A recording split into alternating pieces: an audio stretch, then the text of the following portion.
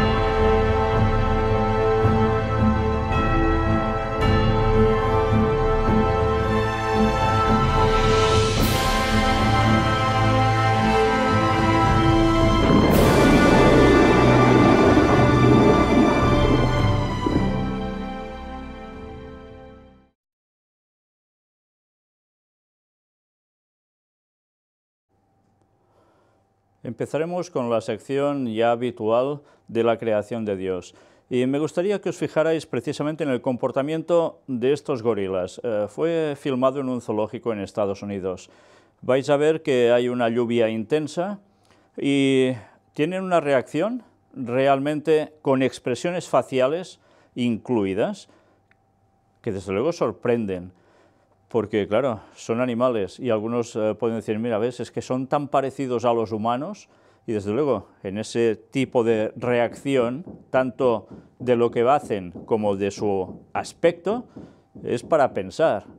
Evidentemente no tiene nada que ver con nuestra cadena evolutiva que llaman, somos dos creaciones distintas, unos son los animales, otros los humanos, pero de allí vamos a extraer también una lección y tiene que ver con la lluvia.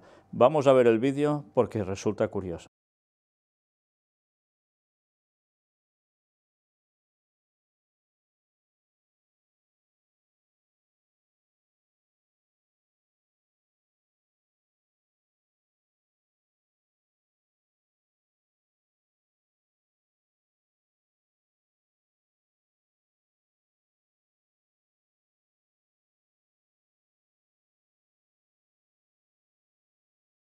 Bien, pues ya veis su reacción. Llueve y intentan pasar tan cerca de la pared como pueden para mojarse menos, hasta que el último hace lo mismo, pero con unas expresiones de que les disgusta mojarse. Una vez más, eh, imaginaos cuando era la tierra antes del diluvio. Ni los animales ni los humanos pasaban por ese tipo de reacción ante una lluvia, un aguacero fuerte, porque no llovía. De la tierra salía un vapor de agua que regaba precisamente toda la tierra. Entonces, hasta el diluvio no hubo lluvia, hasta el diluvio no hubo ese tipo de reacciones, ni en animales ni en humanos. Pero en fin, las cosas cambiaron con el pecado y hace que la lluvia puede ser muy bonita, pero a veces no gusta siempre, ¿verdad? Ahora apartado para arqueología. Mirad esto porque también es muy interesante. Una tablilla de 3.000 años comprueba que un rey bíblico fue una figura histórica real. Expertos estudiaron nuevas fotografías de alta resolución de la tablilla descubierta en el siglo XIX. Estas imágenes dejaron en claro una consonante clave para descifrar el nombre de un antiguo rey. Y el texto nos dice esto. El arqueólogo Israel Finkelstein, el historiador Nadav Naaman, ambos de la Universidad de Tel Aviv, y el biblista Thomas Romer de la Universidad de Lausana, en Francia, analizaron las inscripciones de la estela de Mesha, que data de la segunda mitad del siglo IX a.C. Los resultados de ese estudio fueron publicados en la revista The Journal of the Institute of Archaeology. Y esta tablilla de 3.000 años de antigüedad ¿Qué nos sugiere? Pues que aparece Balak, el rey de los moabitas, que como nos dice aquí, archienemigo de los antiguos hebreos. Y sí, aparece en la Biblia. Entonces fue una figura real. Hay registros al respecto, no es ciencia ficción. La estela de Mesha fue encontrada en el siglo XIX en las ruinas de la ciudad bíblica de Dibon en Moab, actual Jordania. Y ahora se encuentra en el Museo Parisino del Louvre.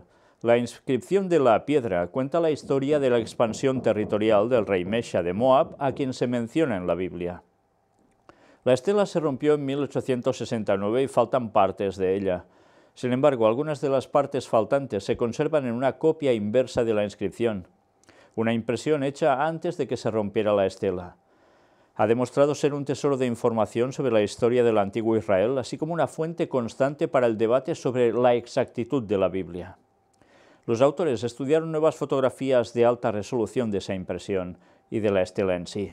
Estas nuevas imágenes dejaron en claro que hay tres consonantes en el nombre del monarca mencionado en la línea 31 y que la primera es la letra hebrea Bet, con un sonido de letra B. Mientras que las otras letras están erosionadas, el candidato más probable para el nombre del monarca es Balak, de acuerdo con los expertos. La sede del rey al que se hace referencia en la línea 31 estaba en Oronaim, un lugar mencionado cuatro veces en la Biblia en relación con el territorio moabita al sur del río Arnón. Por lo tanto, Balak podría ser una personalidad histórica como el profeta Balaam, quien antes del descubrimiento de la inscripción de Deiraya era considerado como una figura inventada. Y qué triste, ¿eh? porque hay tanta gente aún que no quiere reconocer la exactitud y precisión de los textos bíblicos, que cuando hablan de personajes existieron y cuando hicieron ciertas cosas es que las hicieron. Gracias a Dios la arqueología sigue hablando.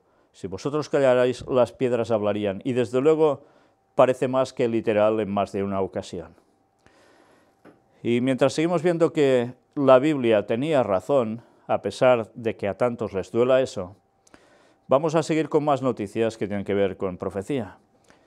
Primero, la Unión Europea. Mirad estas declaraciones de Matteo Salvini.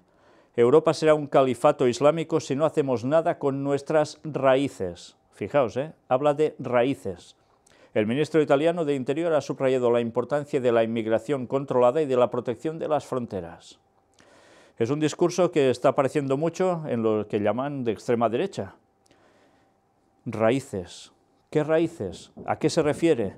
Pues mirad, además del tema de la seguridad, las cuestiones de trabajo, familia, las tradiciones cristianas y la protección del medio ambiente, deben estar en el centro de la nueva política europea, añadió Salvini. Este jueves el ministro de Interior de Italia se reunió en Budapest con el primer ministro de Hungría, Víctor Orbán, que también apoya la idea de una Europa de fronteras sólidas y que precisamente se ha encontrado también esta misma semana con el señor Trump y que lo ha alabado mucho por todo lo que hace al respecto, porque van en una política muy parecida. Pero fijaos, volver a temas familia, tema tradiciones cristianas, o sea, en verdad, catolicismo, y protección del medio ambiente, o sea, se laudato si encíclica papal. Ya vemos quién está detrás de este tipo de grupos políticos, ¿verdad? Pues bien, esto no es todo. Mas no se unirán, decía la profecía de Daniel capítulo 2, hablando de Europa. Y el PNV, o sea, el Partido Nacionalista Vasco, incluye en su programa para las europeas la posibilidad de hacer consultas de autodeterminación. Si hemos visto los problemas que han habido en Cataluña por esta cuestión, pues ahora vemos que también el partido político del PNV apoya lo mismo. Con lo cual, evidentemente, ya se ve venir mas no se unirán. Y ahora hablemos sobre crisis. ¿Qué pasará cuando la cataclísmica bomba de la deuda global explote? La deuda global aumentó en 3,3 billones de dólares en 2018 y asciende en la actualidad a 243 billones de dólares, según un reciente informe. Ya veis que es una auténtica barbaridad. Una vez que la cataclísmica bomba de la deuda mundial explote, estallará una crisis que hará que los gobiernos caigan, los individuos se empobrezcan y las empresas implosionen, vaticina el analista Mark Slavo en un nuevo artículo para el portal SHTF Plan. Y este es el temor que sigue habiendo en muchas personas y muchos economistas, que esta burbuja, tarde o temprano, la va a liar a base de bien. Y se prepara otra gran crisis. Ahora tema para España. Antes hemos hablado de extremas derechas, pues el PSOE socialistas de Pedro Sánchez gana las elecciones en España y la extrema derecha irrumpe en el Congreso. Parece que estamos viendo los tiempos de antaño y ya sabemos, tiene que haber esa recatolización de Europa por la que el Papa tanto aboga y que está utilizando a los suyos. Por otro lado, pues ya lo sabéis, eh, siempre se busca la tesis y la antitesis para finalmente dar una solución. Se habla de si ha habido amaños, no ha habido amaños, en fin, el caso es que ahora quien va a ejercer el gobierno son los socialistas y parece ser con apoyo de algún otro partido que será de izquierdas. Pero que a la hora de la verdad ya sabemos que todos siguen rendiendo pleitesía al papado. Cuando llegan al poder, todos, una vez más, se rinden a la misma mano. Por eso Pensad, ¿la política nos va a solucionar las cosas? ¿Alguien aún es tan ingenuo de pensar eso sabiendo la historia y sabiendo las profecías de lo que se avecina y quién está moviendo a los partidos políticos? Bien, sigamos con más temas de profecía que tienen que ver con estos últimos días y que nos habla, cómo no, de acontecimientos que dan que pensar y mucho. Rusia lanza un submarino capaz de producir tsunamis y de destruir ciudades enteras con un solo ataque. Esto es lo que se está diciendo a partir del armamento que lleva incorporado un cierto submarino, que aún no han dado todos los detalles al respecto, pero por lo que eh, están comentando los analistas, parece ser que puede tener la capacidad para hacer esto. Y esto, desde luego, no es poca cosa. Esto y otras cosas. Por tanto, vamos viendo cómo puede ser una próxima guerra, desde luego, espeluznante. Y sabemos que va a acontecer, está profetizado. Rusia es uno de los países en cuestión que aparece en la profecía al final para que esto suceda. El líder de ISIS reaparece después de cinco años y habla de Netanyahu. Ha vuelto a la palestra cuando ya aparecía y algunos decían, no, murió, pues ha vuelto a aparecer. Y eh, vamos a destacar solo esto. En el vídeo al-Baghdadi también advierte que la batalla del Islam contra los cruzados es larga. Fijaos que habla de los cruzados para referirse al mundo occidental, como cristianos, y los cruzados que eran, eran en fin, ya lo sabemos. ¿no? Por tanto, aún hablan de que seguirá viendo esto y por tiempo. Pues claro, y será así hasta que llegue el clímax de la cuestión. La profecía es clara. Detienen a cuatro personas cerca de París por planear un atentado contra las fuerzas de seguridad. Ya veis que esto es un continuo también en Europa. El gasto militar global alcanza su cota máxima desde el final de la Guerra Fría en medio de la tensión entre Estados Unidos y China. O sea que las naciones, y algunas en especial, están gastando una auténtica fortuna en armamento prácticamente como nunca desde los tiempos de la Guerra Fría. Siguiendo una tendencia alcista de 24 años, China aumentó su gasto en un 5%, si bien el ritmo de su crecimiento se ha desacelerado, alcanzando su nivel más bajo desde 1994. En total, Pekín desembolsó 250.000 millones de dólares para necesidades militares. Pese a la disminución de un 6%, Arabia Saudita retuvo el tercer lugar en el ranking con un gasto de 67.600 millones de dólares en defensa en 2018. La India ocupa el cuarto lugar con 66.500 millones, seguida de Francia, cuyo gasto ascendió a los 63.800 millones de dólares. Otros países del top 10 son Rusia, 61.400 millones de dólares, Reino Unido, 50.000 millones, Alemania 49.500 millones, Japón 46.600 millones y Corea del Sur 43.100 millones. Y estos son el ranking de los que más se han gastado. ¿Os dais cuenta de qué fortunas mueve el tema de armamento y el, generar guerras? Alguien se hace sumamente rico con todo ello, ¿eh? eso está más que claro. y desde luego importa muy poco la vida de las personas. Pero esto no es todo. Si estos países están armándose tanto, y tanto y tanto, ¿por qué creéis que es? Para jugar solo una partida de ajedrez y ya está. Algo se está cociendo y algo está ocurriendo. Y es que, de momento, Dios está reteniendo a través de sus ángeles los cuatro vientos de la tierra, los cuatro ángulos de la tierra, que son los que van a ser soltados esos vientos para generar, ya os podéis imaginar, la catástrofe mundial más potente de la historia. Pero Dios aún lo está reteniendo. Pero ya sabemos que tarde o temprano eso va a ser soltado. Y ya veis cómo puede llegar a ser este conflicto. Y más cosas veremos hoy al respecto.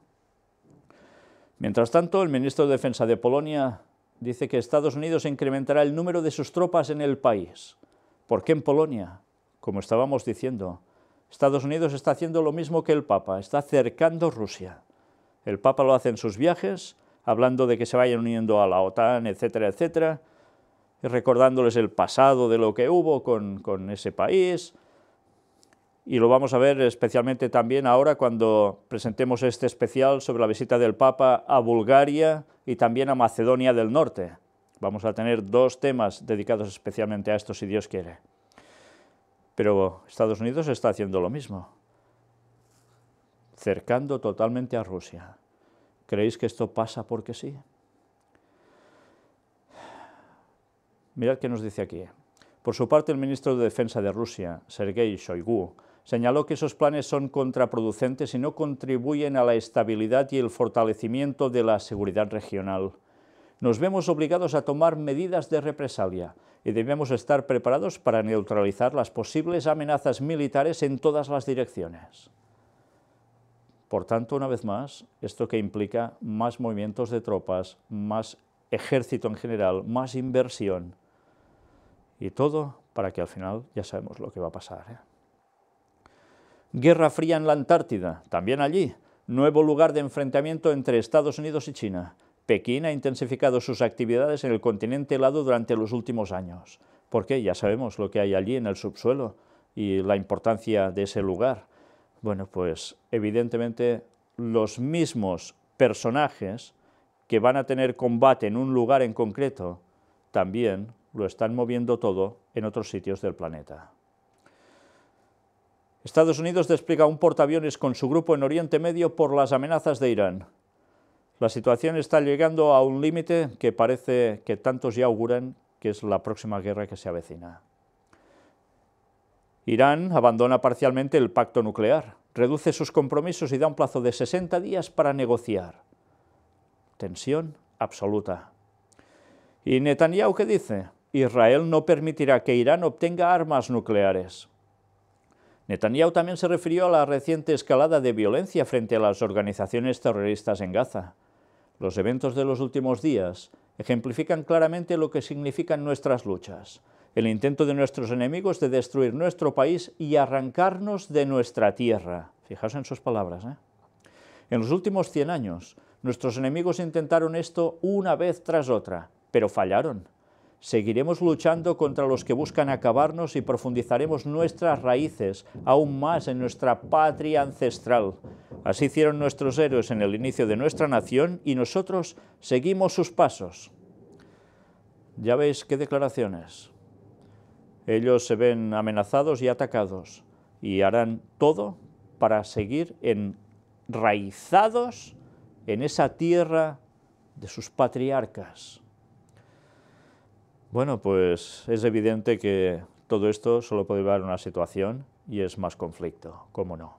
Y ya sabemos que va a ser así.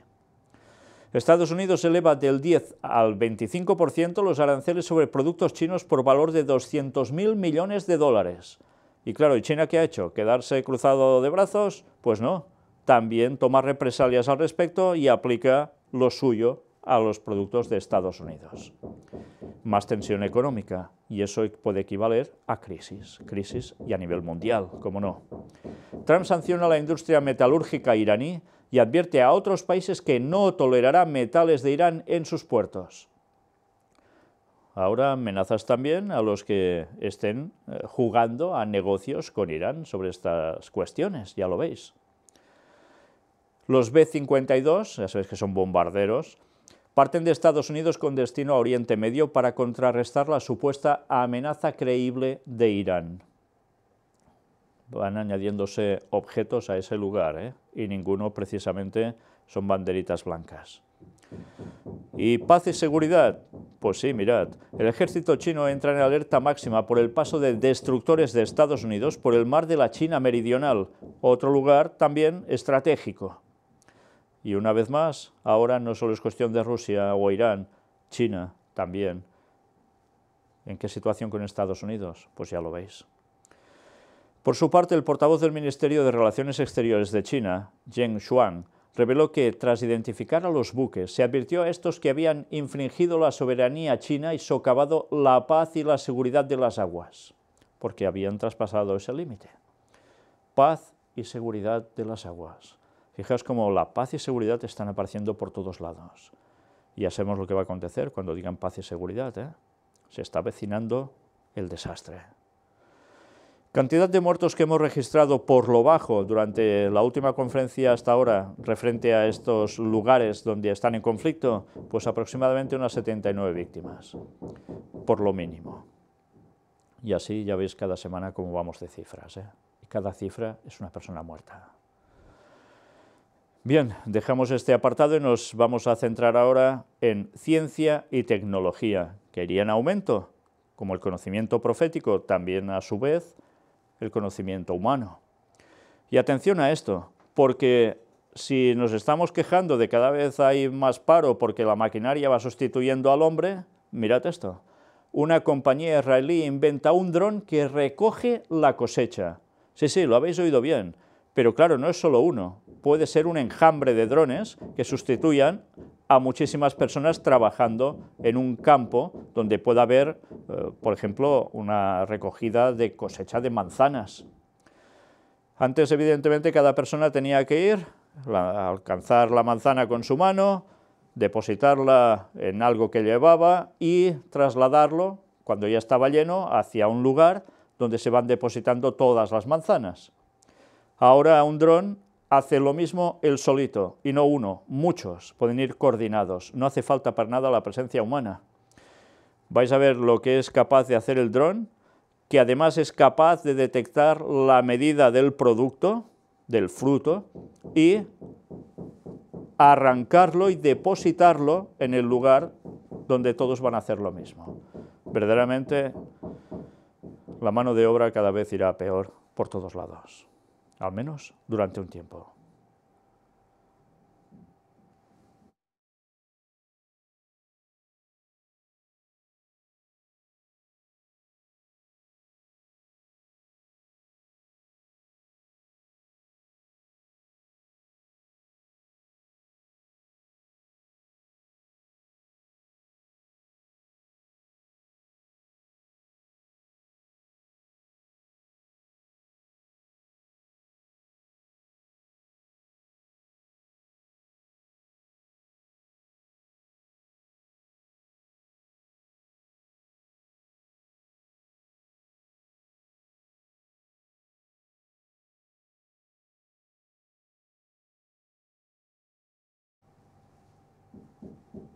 Bien, pues ya lo veis, todos pueden trabajar coordinados y el ser humano allí, mm, hop, desaparece.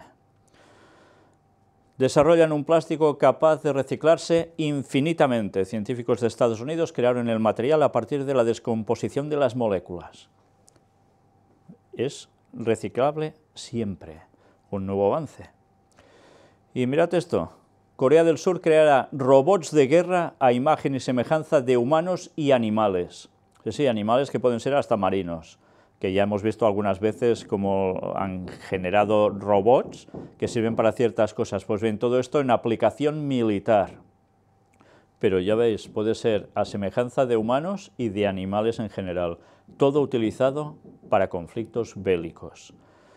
No sé si nos estamos dando cuenta, una vez más, de cuando haya la persecución sobre el pueblo de Dios y de esa enorme guerra, cuántas cosas no van a ser realmente impensables hasta los días de ahora, como nunca había llegado a pasar.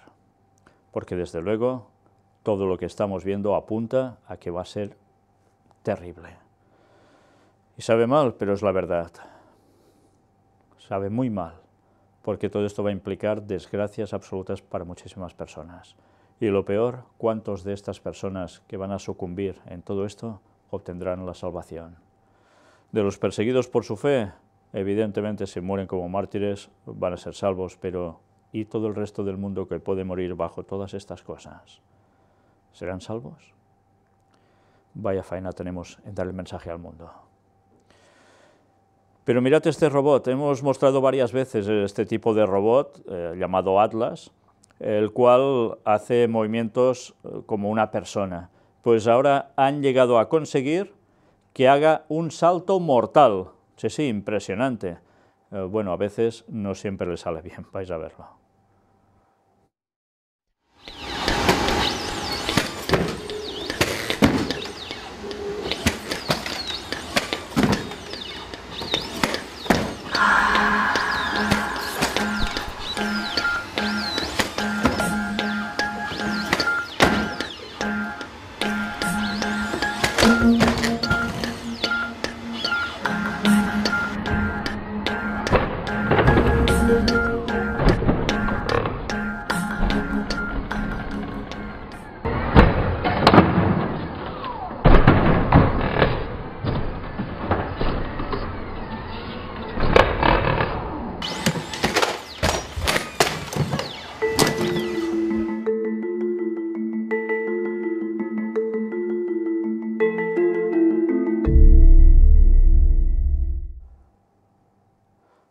Reconocer que la última parte del vídeo, esa toma de cuando están haciendo estos saltos, ah, bueno, resulta graciosa. ¿eh? Vaya trompazo se termina pegando el robotito. Pero es impresionante, ¿eh? hasta qué punto están consiguiendo que se estabilice después de ir saltando, girarse en el aire, darse media vuelta y encima dar un salto mortal de espaldas. Que pocas personas hacen eso, ¿eh? pues ya lo veis, un robot así es capaz de hacerlo. Una vez más, si todo esto llega a aplicarse a lo que ya sabemos, vaya gracia. ¿eh? Bien, dejamos ese apartado para adentrarnos en Latinoamérica, primero en México. Tiroteo entre policías y delincuentes deja nueve muertos y dos heridos. Ya veis que la violencia en este país, desde luego, es impresionante. El ataque de un grupo armado a un camión que transportaba prisioneras deja cuatro muertos en ese país hallan 35 cadáveres en fosas clandestinas en el estado mexicano de Jalisco. Pero es que en otros lugares también suceden cosas, y vaya cosas, como en Venezuela. Pompeo dice sobre Venezuela, si se requiere una acción militar, eso será lo que haga Estados Unidos. Y es lo que parece que se viene, una acción militar. Bueno, vaya panoramas. Al menos cuatro muertos, 130 heridos y más de 200 detenidos tras la última escalada de tensión eh, también allí en Venezuela. Ya sabéis eh, toda la situación que hay contra Maduro y el apoyo desde fuera de Estados Unidos para terminar con, con el gobierno de Maduro y cómo Rusia y China están apoyando al gobierno de Maduro y el Vaticano por en medio jugando. En fin, que la situación desde luego es muy triste, muy lamentable. Todas las personas que me escriben de Venezuela, qué pocos me han dicho que están bien, qué pocos. El resto me han hablado de que incluso alguna vez ni comen alguna de las comidas que les tocaría durante el día. Desde luego eso es realmente deplorable. Y que Dios cuide de su pueblo, porque aún parece ser que las cosas van a ser peor. Siete militares venezolanos mueren al caer un helicóptero de las Fuerzas Armadas. Algunos dicen que si en verdad fue derribado. Bueno, no lo sabemos. Y en Brasil, Ocho muertos en una operación policial en Río de Janeiro, también otro lugar de mucha delincuencia. Y en Guatemala, al menos siete muertos y decenas de heridos en un motín en una prisión. Y ahora saltamos de noticia como en los días de Noé, Sodoma y Gomorra, ya sabéis todo lo que allí había y que sucedería lo mismo en los últimos tiempos y Jesús volvería. Pues entre esas señales mirad algunas de las noticias que desde luego son realmente muy lamentables de tener que presentarlas. Y solo os muestro algunas para que veáis en qué nivel está llegando el mundo actual. La peligrosa moda del selfie sexual. Niños que se desnudan por un puñado de likes. Se han identificado a 110 menores de entre 2 y 13 años que han compartido este contenido. En el caso de los más pequeños, está detrás la participación de un adulto, es obvio. Un niño de dos años difícilmente va a hacerse una foto a sí mismo, un selfie, y luego lo va a subir a las redes. Pero esto ya nos muestro más detalles porque desde luego es repugnante, repugnante lo que están haciendo. Y la mayor parte de los padres dicen no saber nada de lo que están haciendo sus hijos con el móvil ni que hacen esto por casualidad. ¿Y por qué es repugnante todo esto? Pues ellos quizás no son conscientes de lo que están haciendo, viendo la gravedad de todo esto, porque detrás, evidentemente, todo esto es movido por personas adultas que les gusta este, este tipo de mercado, entre comillas. Qué triste. ¿eh? Y noticias desagradables, un ejemplo. Un padre encierra a su hija de tres años en el coche y la quema viva para vengarse de su expareja desde luego es espeluznante hasta qué punto se está llegando. La Guardia Civil, esto en España, y el FBI detienen a 31 pedófilos por captar a 145 menores, la mayoría niñas, por Internet. Ya veis que esto es un continuo. Y bien, ahora tema de accidentes. Una violenta colisión múltiple entre 28 vehículos deja varios muertos y heridos graves en Estados Unidos, al menos cuatro muertos y seis heridos de gravedad. Al menos 11 muertos por un accidente de autobús en el norte de México. Mueren los 14 ocupantes de un avión privado que se estrelló en México. Varios muertos y decenas de heridos al volcar un autobús en carretera en Chile. Al menos cuatro personas murieron y 40 heridos. Nueve muertos y 36 heridos en un accidente de autobús en Ecuador. Y más desgracias. Cuatro muertos en Estados Unidos tras derrumbarse una grúa de la construcción. Un avión alcanzado por un rayo, dicen algunos, otros creen que no, se incendia al aterrizar de emergencia en Moscú. Al menos 41 muertos. Reportan cuatro muertos por explosión de gas en el occidente de Bogotá. Y en tema migrantes, un bebé muerto y tres desaparecidos tras volcarse una balsa de migrantes en un río entre México y Estados Unidos.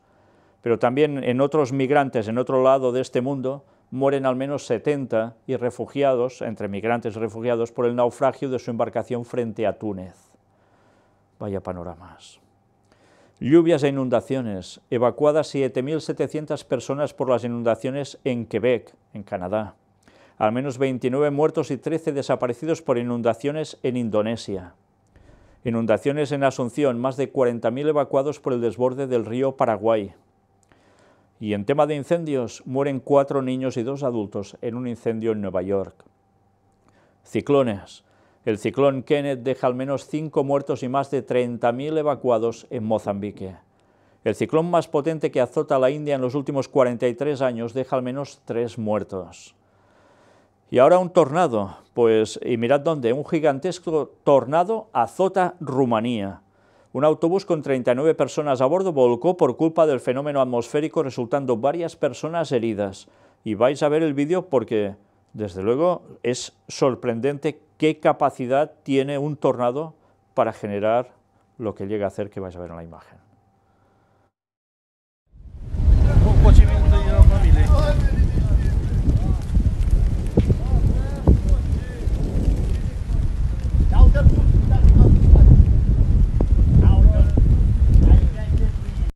Bien, pues en las imágenes llega a tumbar totalmente el autobús, asombroso, ¿eh? Qué potencia. Y hablando ahora sobre cuestiones que tanta gente está comentando, que todo esto cada vez va más porque hay cambio climático, pues vamos a hablar de cambio climático, medio ambiente, Laudato Si, la encíclica del Papa que recoge todo esto y mucho más, y la Agenda 2030, que también está impulsada por el Vaticano y auspiciada por la ONU. Estudio alerta que la barrera de hielo más grande del mundo se derrite 10 veces más rápido de lo esperado. Aunque la estabilidad de estas barreras suele asociarse con su exposición al agua cálida de las profundidades del océano, el estudio ha descubierto que el agua de la superficie calentada con energía del Sol también desempeña un papel crucial en la fusión de las plataformas de hielo. el experto pronostica que el cambio climático puede provocar una disminución aún mayor del hielo marino y mayores temperaturas en la superficie del océano en el mar de Ross, lo que sugiere que los índices de fusión en esta región aumentarán en el futuro. Entre tanto, los investigadores advierten de que la pérdida de las plataformas de hielo supone una eliminación de una barrera natural que evita que los glaciares viertan agua al océano, lo que provocaría un mayor aumento del nivel del mar. Pues ya ves continuamente noticias que siguen alarmando sobre esta situación. Científicos advierten que la desaparición del permafrost despertará al gigante dormido. Aseguran que el derretimiento de los hielos en el Ártico provocará la liberación acelerada de gases de efecto invernadero, lo que derivará en ritmos crecientes del calentamiento global. Por todos lados, ¿eh? Un millón de especies en peligro de extinción por la acción del hombre. Fijaos, el medio ambiente, el cambio climático, pero es la intervención del hombre, dicen también todo esto, ¿cómo no? Un millón de especies de animales y vegetales se encuentran en riesgo de extinción, muchas en las próximas décadas, a menos que haya un cambio radical en los métodos de producción y consumo, según advierte el mayor informe sobre biodiversidad hasta la fecha. Fijaos, hay que cambiar métodos de producción y de consumo. Por tanto, también afectará a nivel social y económico. El análisis de la Plataforma Intergubernamental en Biodiversidad y Servicios Ecosistémicos, presentado este lunes en la UNESCO, subraya la responsabilidad humana en esta situación límite porque los cambios en el uso de la tierra y el mar y la explotación directa de ciertos organismos son los principales culpables. El cambio climático, la contaminación y las especies exóticas invasoras completan esa combinación que ha llevado a que la tasa de extinción actual sea ya entre decenas y cientos de veces más alta que el promedio experimentado en los últimos 10 millones de años.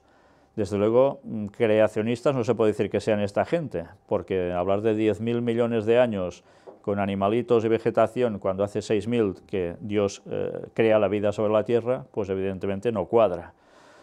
Expertos de 50 países trabajaron durante tres años en esa radiografía del planeta en las últimas cinco décadas, que ofrece un diagnóstico sombrío sobre el impacto del desarrollo económico en la naturaleza y en sus cerca de 8 millones de especies. El deterioro ha alcanzado niveles inéditos en la historia humana, y la vida sobre la Tierra, tal y como la conocemos, se acerca peligrosamente a un punto de inflexión, destaca la argentina Sandra Díaz, copresidenta de ese estudio. Al menos 680 especies de vertebrados han desaparecido desde el siglo XVI y están en peligro más del 40% de las especies de anfibios, un 33% de los arrecifes de coral y más de un tercio de los mamíferos marinos. Una estimación provisional sitúa en un 10% el porcentaje de especies de insectos amenazados. Entre 1980 y 2000 se perdieron además 100 millones de hectáreas de bosque tropical, principalmente para dedicarlo a crianza de ganado en Latinoamérica y a plantaciones en el sudeste asiático, la mayoría de aceite de palma. Tendemos a pensar que los seres humanos estamos al margen de los efectos, pero todo está interconectado. La naturaleza contribuye a regular el clima o la calidad del aire, y nos ofrece comida y energía, por lo que su alteración tiene un impacto directo en la vida humana y el desarrollo económico en el mundo. Fijaos cómo toda esta situación va vinculada a cuestión económica. ¿Por qué remarco esto? Pues porque vais a ver que vamos a tener una segunda parte del tema de preparando el gobierno mundial. Me veo obligado a presentarlo porque el Papa ha vuelto a decir algo al respecto que va a complementar a la perfección el primer tema que tuvimos y que yo no me imaginaba tener que dar un segundo tema y menos tan pronto.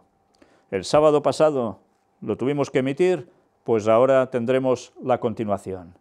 Y vaya tema, vaya cómo las profecías se están cumpliendo en las palabras del papado y con todo lo que está preparando para un gobierno mundial. Pero bien, mirad que destacamos de aquí. A modo de ejemplo, esta tendencia negativa afectará al cumplimiento de los Objetivos de Desarrollo Sostenible marcados por la ONU para el 2030 en el 80% de los casos analizados, en materia de pobreza o hambruna, entre otros, lo que hace que el declive sea tanto un asunto medioambiental como social. ¿Qué aparece aquí? Objetivos de Desarrollo Sostenible. La Agenda 2030 tan íntima, con, eh, totalmente conectada, cómo no, con la encíclica Laudato Si. Todo esto no está apareciendo porque sí. Y todo esto la gente va a anhelar que se le dé una respuesta. ¿Y esto qué implica? Pues que va a tener que haber un cambio no solo social, sino también económico para que todo esto pueda producirse. Dicen que no se va a poder cumplir ese objetivo, hay que hacer algo, y es acelerar la cuestión. Por tanto, el diablo sabe que le queda poco tiempo. Vaya que sí lo sabe. Sabe que Jesús regresa en 2031. No es por nada una agenda en el año 2030 que cumpla los requisitos que el diablo quiere para poner su reino durante un tiempo, haciéndose pasar por Jesús. Y todo el mundo habrá caído ante todo este argumento que va desarrollándose continuamente desde hace años y ahora está llegando cada vez más a su clímax. Y nadie dirá que no. Mirad si es importante conocer las profecías. Mirad si es importante ver cómo las cosas, las situaciones se están desarrollando, porque hay una mano negra que trabaja para esto, y vaya que sí está trabajando esa mano. La mano del diablo, que no para de hacer a través de su agenda que sus títeres hagan lo que él quiere. Pero esto no es todo. Aquí sigue hablando, ya no os leo más datos al respecto, podéis verlo en vuestras imágenes deteniéndolas. Y mirad esto, Theo Oberuber. Hacen falta cambios en nuestro modelo económico y social para conservar la biodiversidad. ¿Y quién es el que dice esto? El coordinador de campañas de ecologistas en acción. Defiende la necesidad de cambios globales. Fijaos que está hablando con las mismas palabras que está utilizando el Papa. Ya no podemos frenar la pérdida de biodiversidad con actuaciones sobre espacios naturales o especies protegidas como se ha hecho hasta ahora, sino que hacen falta cambios globales en la forma de producir, en la forma de consumir, es decir, en nuestro modelo económico y social. Oberuber resalta la insuficiencia de trabajar únicamente en estas dos líneas y ratifica la necesidad propuesta por el informe de abrazar cambios mucho más globales. Cuando dice mucho más globales, evidentemente, esto abarca al globo, al mundo, y por todos, para todos. En este sentido, el cofundador de Ecologistas en Acción plantea la necesidad de empezar a buscar modelos de economía circular que aseguren la reducción de la huella ecológica y favorezcan la conservación de la biodiversidad. Fijaos que habla de economía circular, pues vais a ver las palabras del papado, en concreto del Papa Francisco, que tienen que ver con toda esta cuestión, preparando el gobierno mundial. Vaya que se lo están preparando y qué bien trabajan. Ya se estableció el objetivo de detener la pérdida de biodiversidad para 2010 y se fracasó. En 2010 se fijó un nuevo objetivo para 2020. Estamos en 2019 y podemos adelantar que fracasará no se han tomado las medidas suficientes, ahonda. En 2020 se fijarán unas nuevas metas, probablemente para 2030, que coincidirán con los objetivos de desarrollo del milenio de 2030. Fijaos, objetivos de desarrollo del milenio de 2030. Y Ellen White habla que llegará el momento cuando Satanás aparezca haciéndose pasar por Jesús y que todo el mundo lo va a seguir como si fuera tal, que empezará el comienzo del milenio tan largamente esperado, y lo escribe en el libro El conflicto de los siglos. Y después ya sabemos todo lo que se va a desencadenar. Si no lo sabéis, buscad el libro El conflicto de los siglos de Ellen White. Vais a ver ya en sus partes finales de ese libro cómo empieza a hablar de esto que está cumpliéndose delante nuestro y además termina de decir todo lo que va a acontecer con esta situación. Preparémonos porque estamos llegando. ¿eh? Cada vez queda menos tiempo y cada vez debemos decir el mensaje más fuertemente y más claramente para que la gente se dé cuenta que esto no son bromas, que la profecía bíblica bien interpretada no falla y lo que se viene a este mundo, y especialmente con las consecuencias que tendrá de eternidad, no podemos callar, sino que debemos seguir dando el mensaje tal como es, sin apartarnos ni a derecha ni a izquierda, y mostrando todo lo que se viene para que la gente aún pueda reaccionar.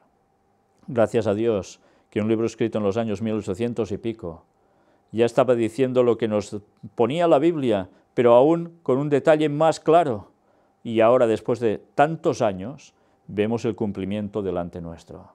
Y esto a cualquier persona que utilice un poco la mente le debería hacer pensar que verdaderamente la Biblia tenía razón y que los escritos de lenguaje verdaderamente eran profetizados por parte divina y no por locuras ni por cuestiones satánicas. Dios da un mensaje a su pueblo. O lo abrazamos entero o nos vamos a confundir y nos vamos a perder. Tened esto claro no os dejéis engañar. Y dice que a tiempo de poner solución, todavía estamos a tiempo, pero es poco el margen que tenemos, sentencia Uberuber. Es poco, por tanto, ¿qué tienen que hacer? Acelerar para que eso se dé sí o sí. Y vaya que se lo van a acelerar. Más noticias al respecto. La Tierra ha alcanzado hoy niveles de CO2 nunca vistos en varios millones de años. Una vez más, venga a poner años aquí a patadas. Venga, millones de años. Pues señores, que no, que no son millones de años, que son seis mil años los que hay desde la creación de la vida en la Tierra. Pero bueno, que hay esos niveles tan altos ya es otra historia. Desde luego la contaminación es la que es. Pero ya sabéis que esto evidentemente va a llevar a apoyar, como no, la encíclica Laudato Si con todas las medidas al respecto a nivel social, económico, etcétera, etcétera. Y bien, vamos a seguir con el tema ya directamente, precisamente, de los que tienen que ver, los que están detrás de toda esta cuestión, el Vaticano. Aquí puse un próximo viaje papal que ya se ha cumplido y es el que vamos a tratar próximamente el viaje del Papa a Bulgaria y Macedonia del Norte. Vais a ver una vez más cómo está trabajando cercando Rusia y, cómo no, con el ecumenismo por sus fueros. Pero todo eso en su momento. ¿Todo el mundo en pos de la bestia? ¿Es lo que se prepara? Pues Bosnia y Herzegovina, el Papa recibe al mandatario político Milorad Dodik. ¿Y qué destacamos de aquí? Pues Milorad Dodik es el primer ministro de la República Sparska, una de las dos entidades de Bosnia y Herzegovina. La otra es la Federación de Bosnia y Herzegovina. Y el presidente de su partido, la Alianza de Socialdemócratas Independientes. Fijaos cómo todos van de la mano en este sentido.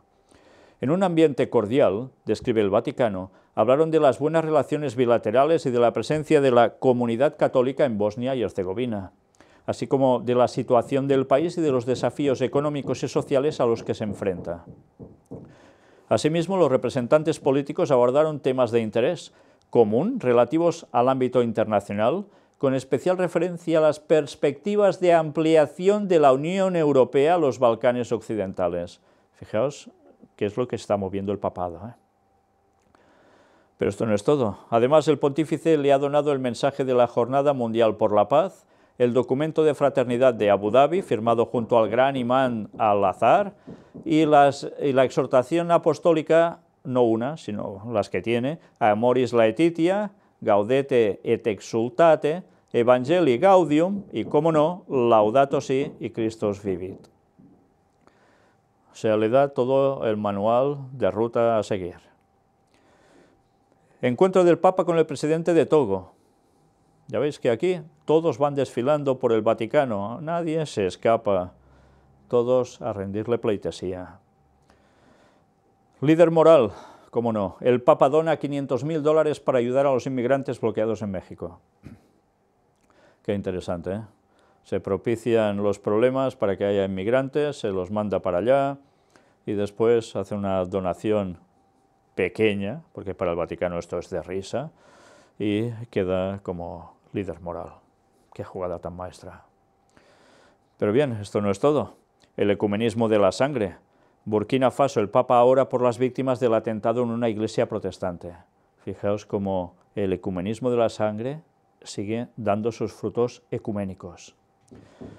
Y las tres palabras de moda, el bien común. La economía sirve al bien común, dice el Papa. Fijaos, ¿eh? antes hemos visto ya el tema de cambio económico que debe haber, y más que veremos, todo esto sirve al bien común, la economía. Pues eh, ya vemos que algo hay que hacer. Ahora vamos a ver el bien común, más ecumenismo, más Agenda 2030, audiencia con los participantes en el encuentro sobre minería, la industria minera para el bien común. Qué raro, ¿eh?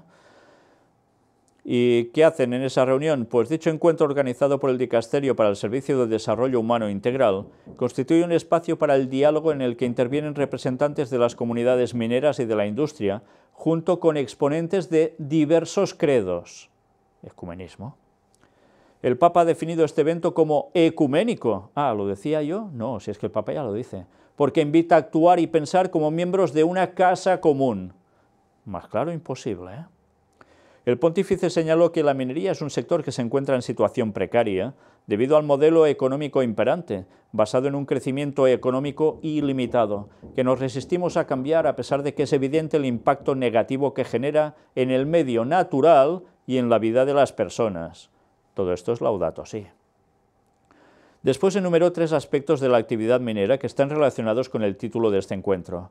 En primer lugar, el Papa destacó que la minería debería estar al servicio de toda la comunidad humana, o sea, de todo el mundo.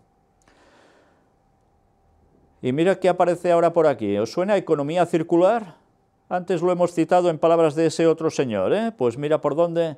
En tercer lugar, el Papa subrayó la necesidad de fomentar, especialmente dentro de este sector, el desarrollo de una economía circular, que asegure recursos para todos, rompiendo con el modelo extractivista, esto es, la tendencia del sistema económico por convertir en capital los bienes de la naturaleza.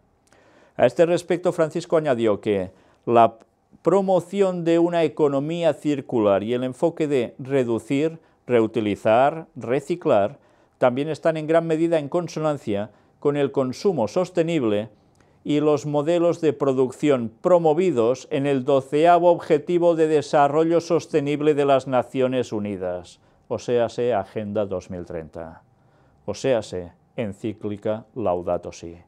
Y una vez más recordemos que todo eso lo que va a conllevar es a la implantación del domingo de lleno para todo el mundo como día de reposo para ayudar a solucionar todos estos problemas y muchos otros y el mundo está trabajando hacia ese objetivo de lleno y muchos no tienen ni idea aún.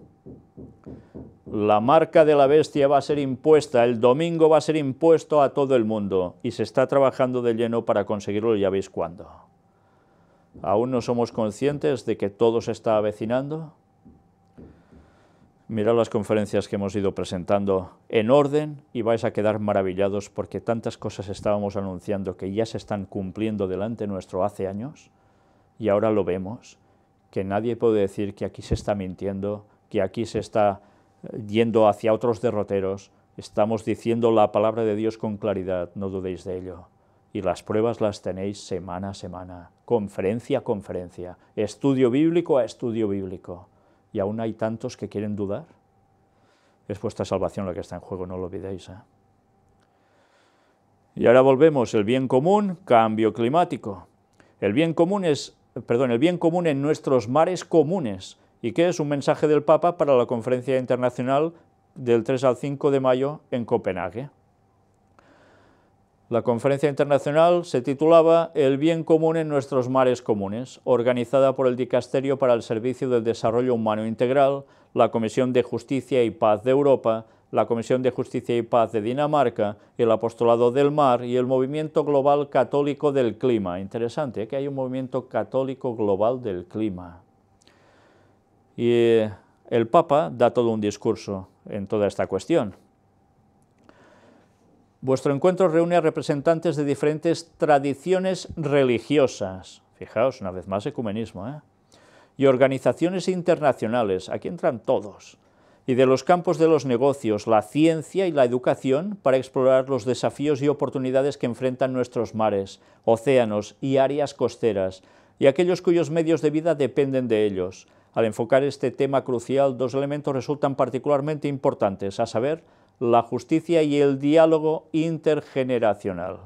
Y, como no, en todo ello interreligioso. Y aquí nos va citando qué? Pues la encíclica Laudato Si.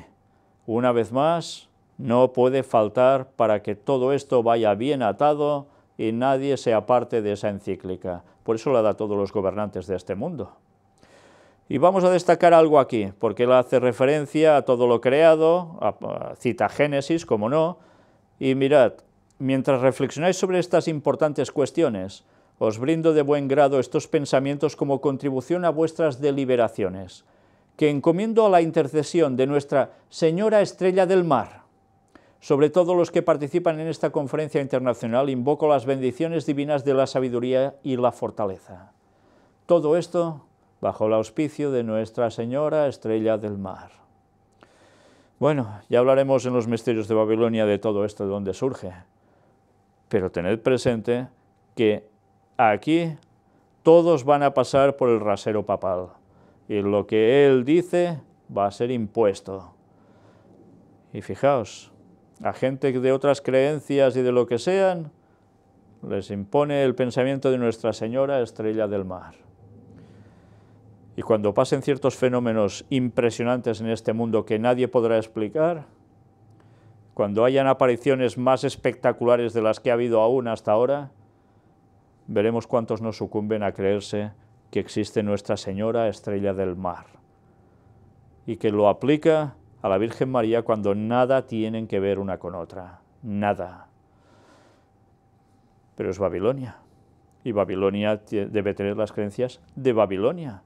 La Babilonia moderna, entre comillas, Roma, el papado, sigue con las cuestiones babilónicas, no falla. Y eso es lo que da beber a todo el mundo. ¿eh? Limpieza moral. Nueva ley vaticana obliga a denunciar abusos y celeridad en investigaciones. Y mucha gente cuando ha oído esta noticia lo ha aplaudido. Bueno, ahora ya parece que hacen algo en concreto. Bueno, pues eh, aquí tenéis la noticia y nosotros vamos a destacar algo porque de repente parece que lo que dice que sí, luego hay. La ley no requiere reportarlos a la policía. Anda. El Vaticano lleva tiempo alegando que hacerlo solo pondría en peligro a la Iglesia en zonas donde los católicos son una minoría perseguida. Sin embargo, se especifica por primera vez en una norma universal para la institución que deben cumplir con los requisitos legales sobre denunciar del lugar donde viven y que su obligación de reportar a la Iglesia no interfiere con eso. O sea que no hace falta reportarlo a la policía. Y sobre todo en esos lugares donde, como son minoría, podrían tener problemas graves pues que no lo hicieran esas cosas, pero lo hacen. Y a la policía, nada.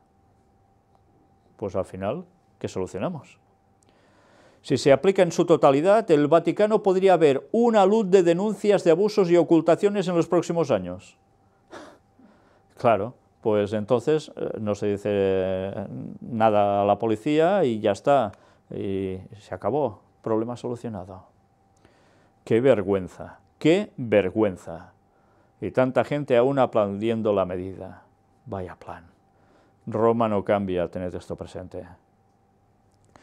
También ahora más apartado para ecumenismo, encuentro del Santo Padre con los profesores y alumnos del Instituto Bíblico. Del 7 al 9 de mayo en la Universidad Gregoriana de Roma ha tenido lugar la conferencia internacional Jesús y los fariseos, una revisión interdisciplinaria, organizada por el consabido instituto. En ella han participado expertos de ambas tradiciones, cristiana, católica y protestante, y judía, procedentes de Argentina, Austria, Canadá, Colombia, Alemania, India, Israel, Italia, Países Bajos y Estados Unidos. Fijaos, junta católicos y protestantes y judíos para analizar el tema de los fariseos. Y tienen que llegar a conclusiones. Mirad. En sus palabras, Francisco rememora la fundación de este Pontificio Instituto Bíblico, creado por San Pío X, con el objetivo de ser un centro de altos estudios de las Sagradas Escrituras en la ciudad de Roma, para promover con la mayor eficacia posible la doctrina bíblica y los estudios con ella relacionados según el espíritu de la Iglesia Católica. Por tanto, fijaos, toda esta gente va allí, pero todos deben pasar por el rasero de estar relacionados con el espíritu de la Iglesia Católica. Igualmente, el Santo Padre señala que este instituto ha trabajado desde entonces para mantenerse fiel a su misión y ha contribuido a promover la investigación académica y la enseñanza de estudios bíblicos para los estudiantes y futuros profesores que proceden de unos 70 países. En los últimos años, el instituto ha intensificado su colaboración con expertos judíos y protestantes. ¿Por qué será? Eh? Ecumenismo. Todo el mundo va a sucumbir a Babilonia. Según el Santo Padre, los estudios recientes demuestran que ahora sabemos menos de los fariseos que los que nos precedieron. Por ello subrayó que la investigación interdisciplinaria sobre las cuestiones literarias e históricas concernientes a los fariseos tratadas en esta conferencia contribuirá a adquirir una visión más veraz de este grupo religioso y también ayudará a combatir el antisemitismo. Fijaos una vez más, la cuestión del antisemitismo aparece en los temas que el Papa trata. Todo para un ecumenismo, ¿eh? para ganárselos. Qué bien están trabajando. No van a decir eh, todas las cosas como son, evidentemente, porque si no, ya sabéis lo que pasaría. En este sentido, Francisco se ha referido a sí mismo al diálogo entre judíos y cristianos y a la necesidad de conocer al prójimo para quererle. Es la forma de un ecumenismo que todo el mundo puede abrazar como nadie se posiciona, les dice lo que hay, lo que son, pues nada, ecumenismo para todos. Qué triste. Traicionando la verdad bíblica y haciendo ecumenismo con la bestia. Bueno, pues nada, vamos a seguir para adentrarnos en esta otra cuestión, protestantismo apóstata. Porque si hay Babilonia la grande, la madre de las rameras, y es el Vaticano, también hay las hijas de la gran ramera, y son los protestantes que se han apartado de la verdad y están apostatando de arriba abajo. Y vaya noticia. Un pastor besa durante un minuto a una joven feligresa para exorcizar los demonios de su cuerpo. ¿Habíais visto a Jesús hacer algo así cuando sacaba demonios? Bueno, aquí se dice pegarle un morreo. ¿Sabéis qué significa eso? Pues eso, besarle en la boca. ¿Y creéis que esto es forma de proceder? El extraño ritual sorprendió a los usuarios de las redes sociales que expresaron su indignación por los métodos que usa el pastor. Pues vais a ver la expresión de la gente de su alrededor mientras el pastor está, haciendo esto y que además repite. Vaya panorama.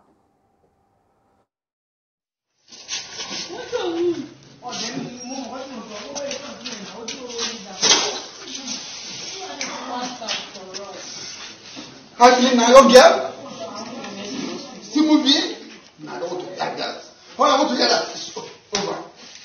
Okay what's more.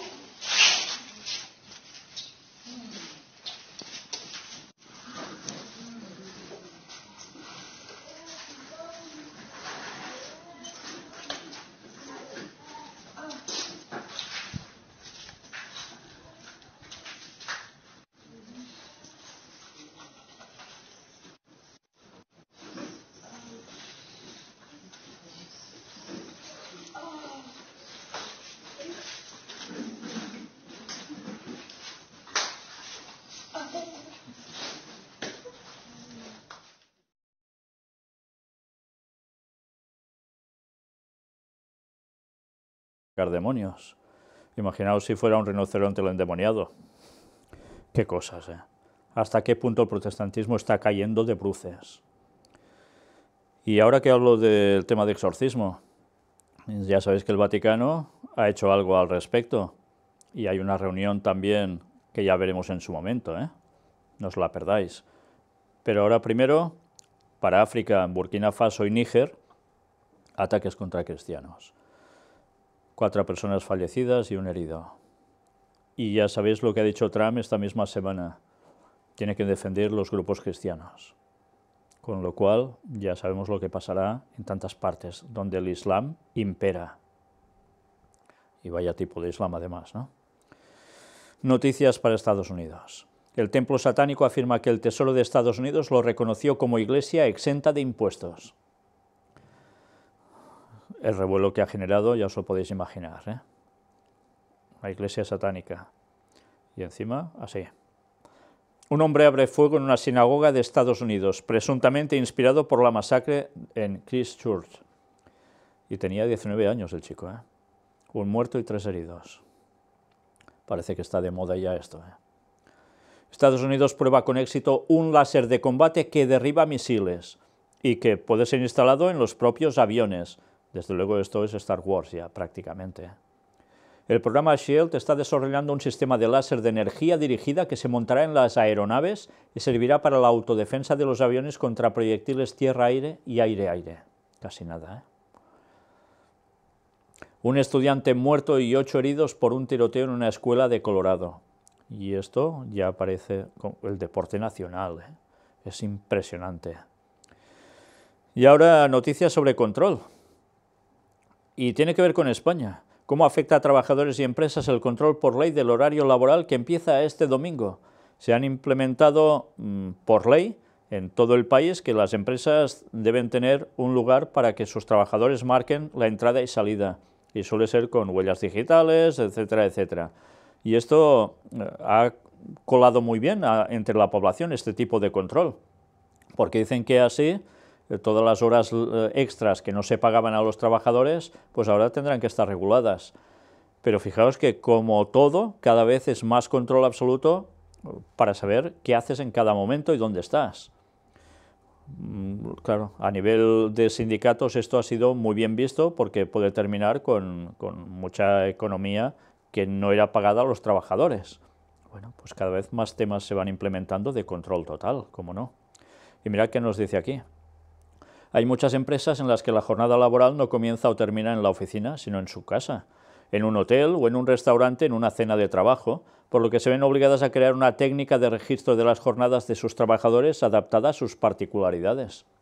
Las aplicaciones móviles con geolocalización o los de recogida de datos biométricos, reconocimiento facial, del iris o de la huella dactilar, son las opciones que más suenan para estos casos de empleos con movilidad, aunque tanto empresarios como sindicatos alertan que pueden vulnerar la ley de protección de datos.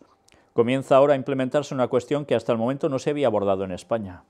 Y que, por cierto, hoy leía que en San Francisco, en Estados Unidos, han desechado que haya precisamente el reconocimiento facial como prueba para nada, porque dicen que además, sobre todo, fallan las personas eh, de raza negra, el sistema.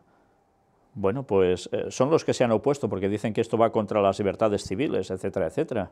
Pero en tantos otros lugares ya veis que todo se va implementando como si nada. Y ahora una noticia escabrosa. Hablamos del lado oscuro. Una, esta, y luego la que viene. Antes os decía, hablando de exorcismos, pues aquí lo tenéis. La Iglesia organiza un curso de exorcismo para luchar contra la sombra de Satanás que crece con las redes. ¿Y dónde se hace? Pues claro, como no, ah, ya os podéis imaginar, en los temas eh, de ambiente católico, y lo promueven los legionarios de Cristo. El curso lo dicta el Ateneo Pontificio Regina Apostolorum. Y aquí tenéis toda la explicación de este curso de exorcismo, que además vale su dinero, etcétera, etcétera. Pero vamos a destacar algo, sí, son 400 euros por cabeza, comida incluida. Y mirad qué es lo que destacamos. Este año, además, el curso, porque no es la primera vez que se hace, concluirá con una mesa redonda ecuménica, en torno a la cual se sentarán representantes de diversas iglesias cristianas, como un ortodoxo, un católico, un anglicano, un pentecostal y el obispo luterano argentino Manuel Acuña. Y es que, al contrario de lo que se piensa, no solo los católicos llevan a cabo estas prácticas, sino que también las otras ramas del cristianismo las ponen en marcha, así como musulmanes o hebreos. Y para muestra un botón, el que habéis visto de eh, pastor protestante dándole ese besazo a, la pobre chica, ¿no? Bueno, pues, eh, ¿qué quiere decir todo esto? Que hasta en la cuestión del espiritismo, de posesiones demoníacas van a trabajar para conseguir ecumenismo, incluso en esto. La verdad es que da que pensar, ¿eh? Cómo hasta el espiritismo se está juntando con toda esta situación y que cómo van a arreglar todo esto de formas tan distintas. Unos con agua bendita y diciendo no sé qué, otros haciendo otra cosa, otros besando. Qué disparates. Jesús era muy claro, los apóstoles también, cuando había posesión demoníaca, lo que hacían, que era ayuno, oración, y depende de cuál demonio o cuáles demonios, aún más, y sacarlo fuera en el nombre de Jesús, y se acabó. Curso de exorcismo para todo esto, pero ¿esto dónde sale? ¿Jesús escribió un manual de exorcismo? ¿Alguno de los apóstoles? ¿Qué es toda esta barbaridad? Y resulta que todos, sean de donde sean, patán, van a confluir allí por cuestión ecuménica con exorcismos. Ya es el colmo.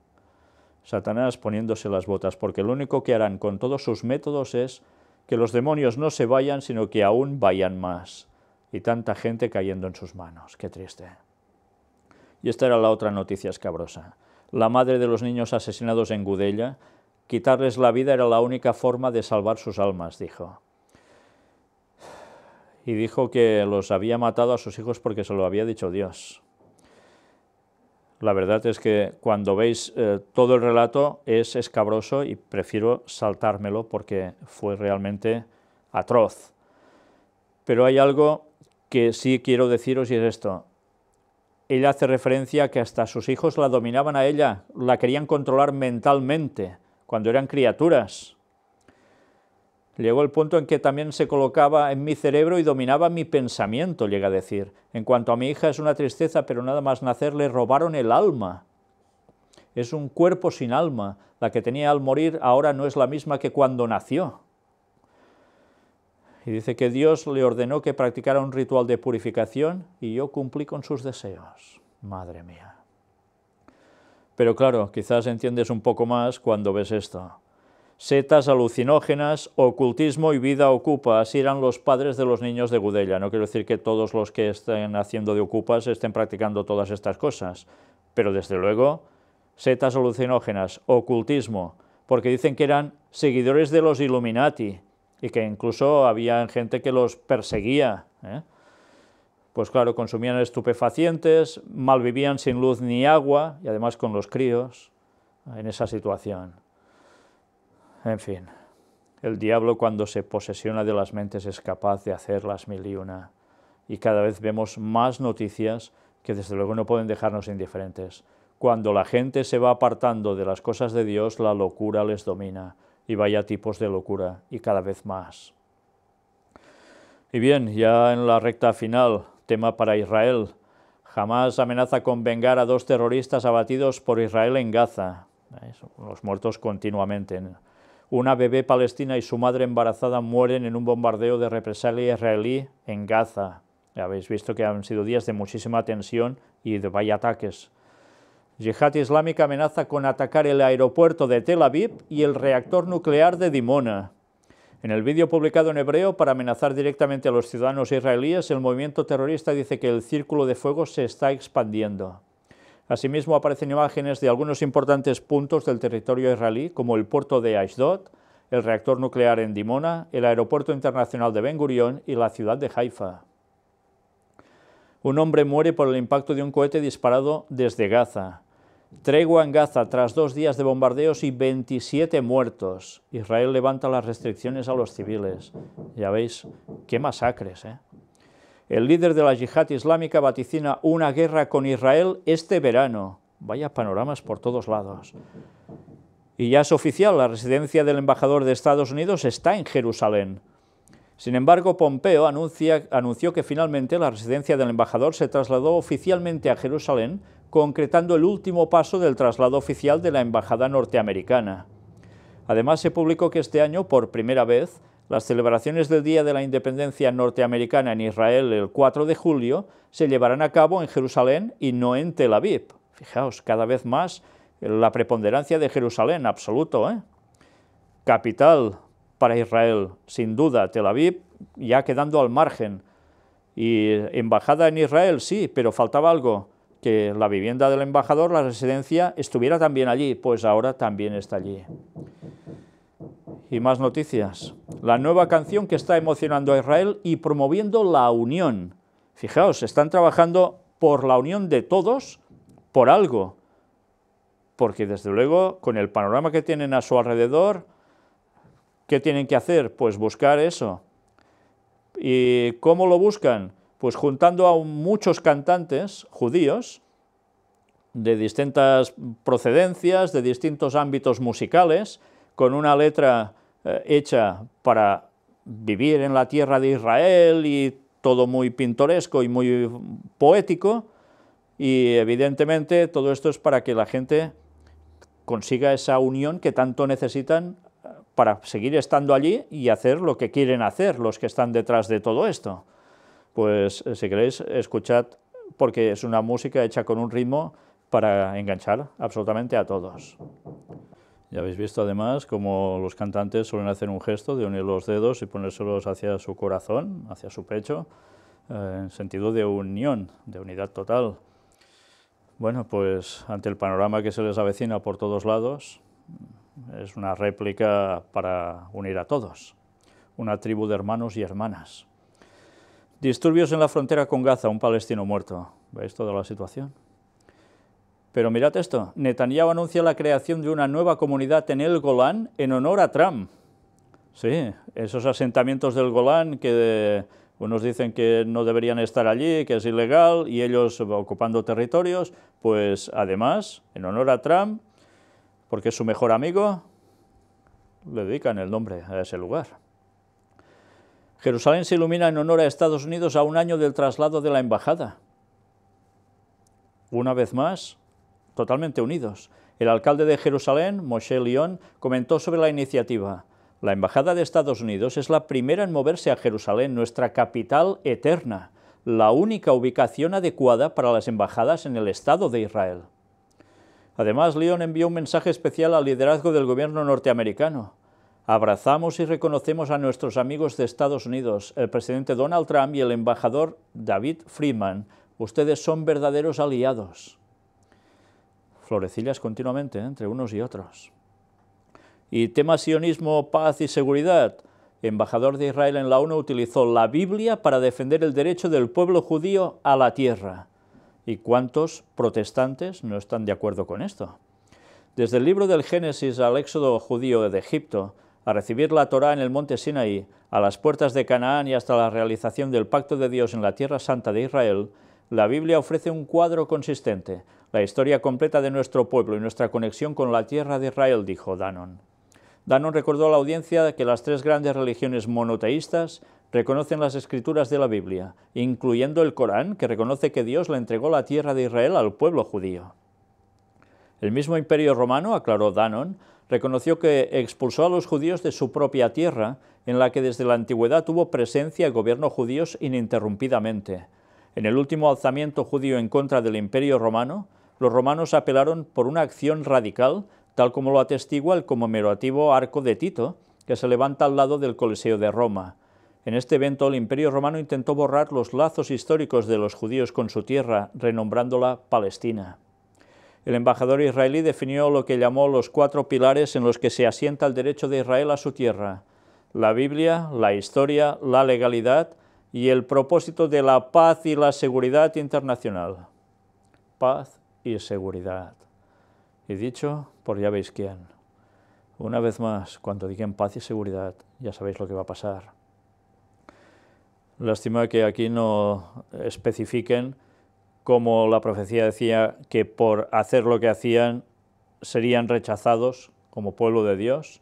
Eso no quiere decir que todos dejaran de serlo, pero sí a nivel general.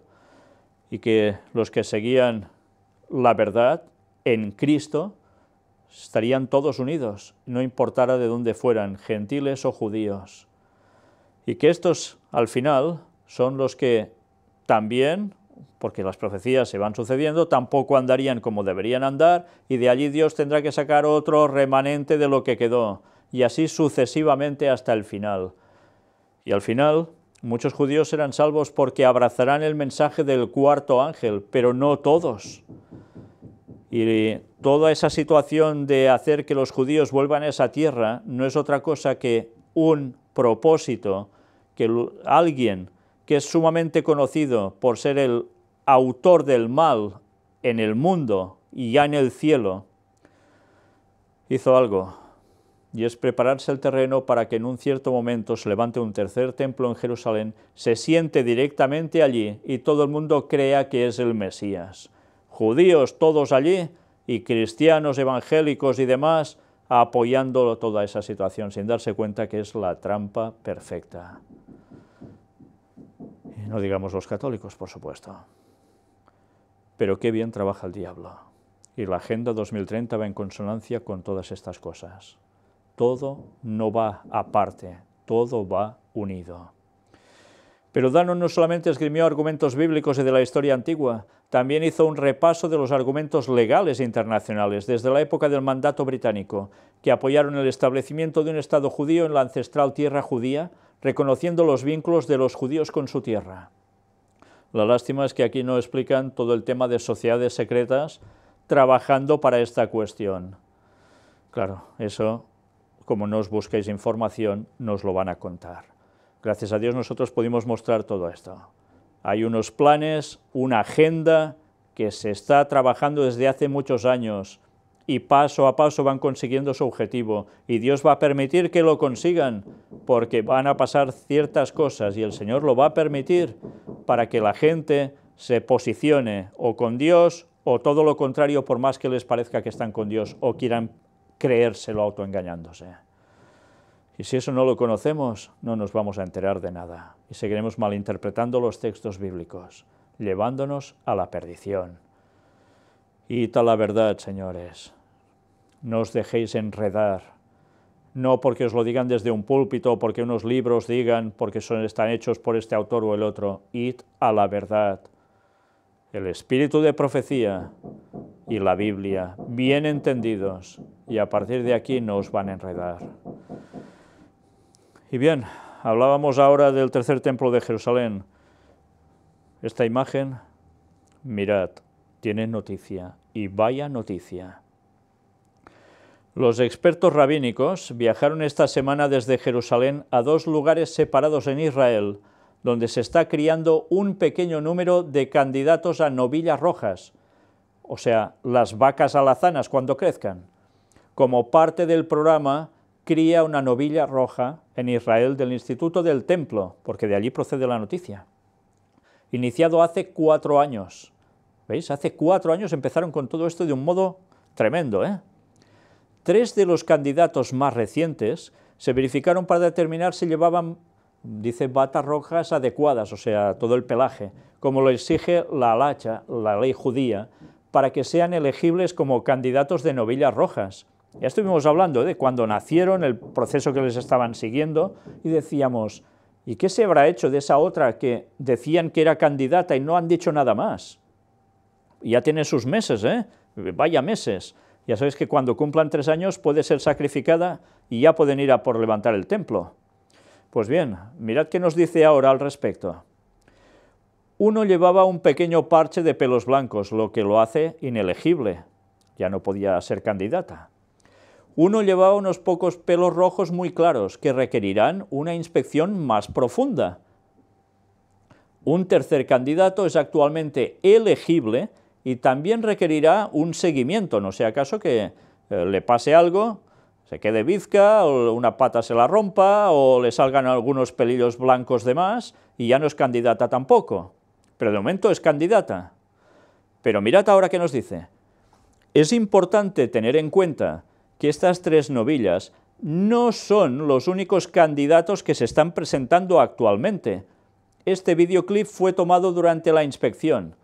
Y no son los únicos candidatos porque aún esa vaca, esa ternera, esa, novilla roja o alazana, sigue siendo candidata. Pues mirad el vídeo, ahí tenéis cómo está ya el panorama. עזוב אותה, עזוב אותה.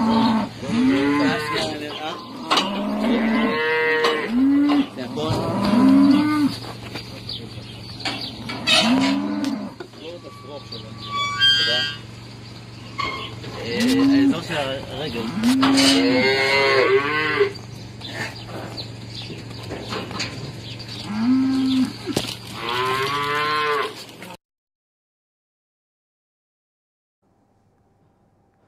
Pues ya veis que esto no son bromas. Esta gente va en serio. Están trabajando directamente para conseguir la vaca, la zana y cuando tengan la adecuada, como cumpla tres años, la van a sacrificar, si Dios no los va parando aún. Todo se está vecinando, por eso están trabajando tan intensamente en todos los campos para conseguir levantar el tercer templo de Jerusalén. Lo estamos viendo conferencia a conferencia. Y aún hay gente que esto creen que no va a pasar. Pero se estaba profetizado que pasaría. ¿Cómo no va a pasar? Y ya sabéis lo que esto va a implicar, ¿eh? Y todo el mundo se tendrá que definir. Todo el mundo.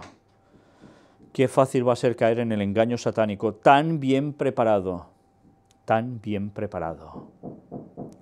Y bien, no vamos a terminar sin una cita de Ellen White que nos vaya a ayudar, cómo no, a seguir preparándonos y a conocer las cosas, porque como ahora nunca ha sido tan necesario.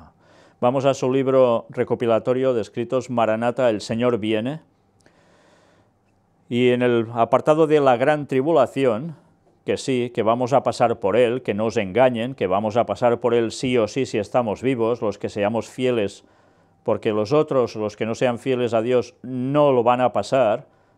Ya sabéis que al final solo hay perseguidores y perseguidos, y estaréis en un lado o en otro, no habrá más. Pues mirad que dice, tiempo de despertar. Y cita el texto bíblico aquí de Romanos 13, versículos 11 y 12. Y atención ¿eh? al texto. Y esto, conociendo el tiempo, que es ya hora de levantarnos del sueño, porque ahora está más cerca de nosotros nuestra salvación que cuando creímos. La noche está avanzada y se acerca el día. Desechemos, pues, las obras de las tinieblas y vistámonos las armas de la luz, conociendo el tiempo. Ya es hora de levantarnos del sueño. Vaya que sí es hora de levantarnos del sueño. ¿Conocemos el tiempo donde estamos? ¿Conocemos las señales de los tiempos, cómo apuntan al retorno de Cristo? ¿Conocemos cuándo es el retorno de Cristo? ¿Conocemos el tiempo o lo estamos desestimando? No puede ser, cada vez que digo 2031, estás loco, no puede ser, esto es ir contra el día y la hora, nadie sabe. Mirad antes de seguir escribiendo, una vez más os lo digo, que todo iba bien hasta que hablas de 2031. Porque, señores, hemos presentado suficientes temas extensos, súper detallados, donde se demuestra Biblia en mano, y con los escritos de lenguaje y con la historia, y con los calendarios y tantas cosas más, que habrán seis mil años de historia de pecado y vuelve Cristo y eso es matemático y se cumple en otoño en la fiesta de tabernáculos del año 2031. Por tanto, si no os lo queréis creer, no os lo queráis creer, pero ya se lo diréis a Dios si tendréis excusa cuando habéis tenido oportunidad de conocer la verdad y os ha importado un rábano. Os estáis jugando la salvación y no paro de repetirlo, os estáis jugando la salvación, conociendo el tiempo, y el tiempo está marcado por Dios y lo ha dado a conocer a sus profetas durante toda la Biblia, y además al espíritu de profecía en el lenguaje. ¿Y aún vamos a desecharlo? ¿Aún queremos pensar que no se puede saber? No estamos diciendo día y hora tenerlo presente, pero sabemos porque Dios lo reveló ya hace desde siempre, desde Génesis 1.1, imaginaos, que habría esos seis mil años y volvería Cristo. Y tanta gente aún no se ha enterado. Pues mirad primero los doce temas que presentamos con el título El tercer Elías. Doce temas, miradlos, en orden. Luego mirad los temas de ¿hay fecha para el retorno de Cristo? y vais a quedar impresionados de los datos que se dan allí, que nadie puede negar, nadie que quiera investigar. Y por si fuera poco, añadamos lo que hemos presentado en otros países y también en otros lugares de España, con datos imperdibles al respecto, donde se dan datos adicionales impresionantes y que no dejan lugar a dudas que Cristo vuelve en otoño de 2031 en la fiesta de tabernáculos. Si queréis decir que no, decid lo que queráis, pero nosotros demostramos las cosas. Y ya va siendo hora de que vosotros os pongáis a estudiar lo que Dios ya ha revelado, y saldréis la mar de contentos, la mar de felices, muchísimo, porque podréis decir, Maranata 2031, el Señor vuelve, queda muy poco y he de prepararme y he de dar a conocer el mensaje al mundo para que muchos reaccionen. Y mirad qué nos dice aquí. La gran controversia está llegando a su final. Cada informe de calamidad que ocurre en el mar o en la tierra es un testimonio del hecho de que el fin de todas las cosas está por sobrevenir. ¿Será que no hemos visto también en esta conferencia todo esto? Eh? Las guerras y los rumores de guerras así lo declaran. El Señor viene, oímos los pasos de un Dios que se acerca. No debería permitirse que este conocimiento de la cercanía de la venida de Cristo pierda su fuerza y que nos tornemos descuidados y desatentos y caigamos en el sueño en una insensibilidad e indiferencia a las realidades. Fijaos que no, dice a las ficciones, a las realidades. En el sueño estamos en un mundo irreal y no somos sensibles a las cosas que ocurren a nuestro alrededor. Hay quienes tienen la deslumbradora luz de la verdad brillando a su alrededor y sin embargo permanecen insensibles a ella. Están encantados por el enemigo, mantenidos bajo un hechizo por su poder fascinador. No se están preparando para ese gran día que pronto ha de sobrevenir a nuestro mundo. Parecen completamente insensibles a la verdad religiosa. ¿No hay algunos jóvenes que estén despiertos? Los que ven que la noche se aproxima y también la mañana, deberían trabajar con energía incansable para despertar a sus amigos que duermen. ¿Estamos haciendo eso? Y fijaos que habla también a los jóvenes. No pueden experimentar su peligro, orar por ellos y mostrarles por su propia fe y carácter que creen que Cristo vendrá pronto. ¿No pueden hacer esto? el hecho de que disminuye rápidamente el tiempo que media entre nosotros y la eternidad, debería impresionarnos profundamente. Cada vez nos queda menos. Otoño del 2031, ¿cuánto queda ya? ¿Y no nos vamos a impresionar profundamente por esto? Cada día que pasa es uno menos que nos queda para completar nuestra obra de perfeccionar el carácter porque no solo se trata de avisar a la gente, se trata de perfeccionar el carácter. Mientras muchos permanecen dormidos y muchos desperdician las preciosas horas en descuidada indiferencia, podríamos decir en el mismo borde del mundo eterno, los que creen deben ser sobrios, deben despertar, deben ser fervientes y diligentes y velar en oración. Queridos jóvenes, ¿Tenéis vuestras lámparas preparadas y ardiendo? Vaya forma para estar meditando con esta lectura tenemos. Y especialmente ahora me dirijo ya no a los adultos, sino a los jóvenes. Estáis en muchos en iglesias adventistas. ¿Os están instruyendo para todo esto? ¿Os están dando este mensaje del cuarto ángel? ¿Os tienen entretenidos con bobadas? haciendo de soldadito y tantas cosas más. Señores, jóvenes y adultos, no importa si sois varones o hembras, lo que importa es que estéis consagrados a Dios. Busquéis cambiar el carácter, busquéis a Dios en oración y busquéis dar el mensaje una vez os hayáis preparado con la verdad, para despertar, porque el tiempo está cercano como nunca. ¿Estamos haciendo eso? ¿O vamos a iglesias aún a perder el tiempo? Qué triste, qué triste. Cuando el pueblo de Dios, sabiendo estas cosas, debería estar divulgándolo por todos lados. ¿Y cuántas personas me escriben? Y gracias a Dios jóvenes, que me dicen, no oímos nunca nada de esto en las iglesias. Nunca. ¿Nunca? Pues qué pena. ¿eh? Y encima si se dice algo de esto, se les corta no sea acaso que esto sea una barbaridad. ¿Y por qué no se ponen a verlo, a estudiarlo de corazón? En oración, sin prejuicios ni preconceptos, y despiertan. ¿Por qué? Porque en el fondo no quieren que vuelva nuestro Señor.